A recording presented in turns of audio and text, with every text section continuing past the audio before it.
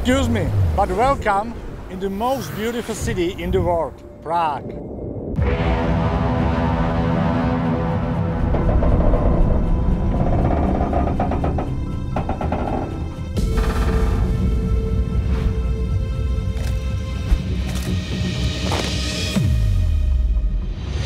I've got my Lonely Planet guidebook. I read about the history of Prague. They have quite a storied history. They've been a part of every major European empire at some point.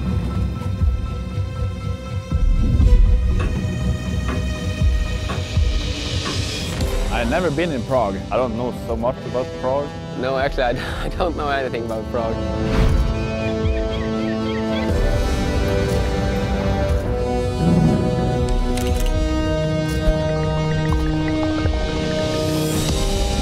Uh, I have been to Prague once or twice before, yes. So I had a little bit of a look around um, with, with Martin Comrade. So it's a beautiful city and um, yeah, I'm really looking forward to go back there and um, enjoying the scenery.